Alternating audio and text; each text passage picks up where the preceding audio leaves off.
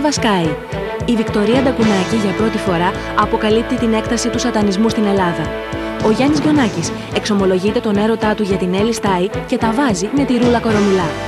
Επίσης, ο Κώστας Πρέκας στα ίχνη των δολοφόνων του Παύλου Μπακογιάννη και ο Σταύρος Διαμαντόπουλος καρφώνει τους μηχανισμούς που σαμποτάρουν τον Ολυμπιακό.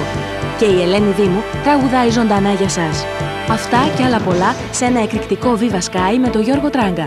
Αυτή την Κυριακή στις 6 παρατέταρτο το απόγευμα.